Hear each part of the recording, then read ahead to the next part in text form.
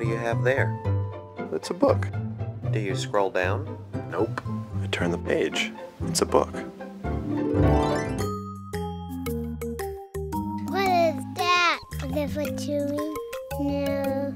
Is it for wearing? No. Is it for emailing? No. Is it for quacking? No. Flying? Riding? No. Building? No. It's for reading. It's a book, silly.